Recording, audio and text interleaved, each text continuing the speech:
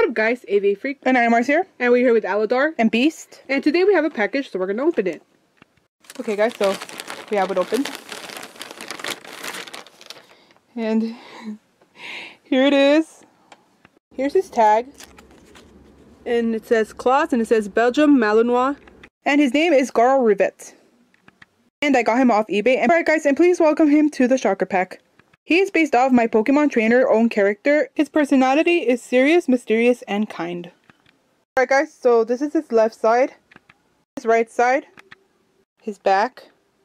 The front. And his eyes are orange. And he has some really nice airbrush on the forehead and a little bit in the back.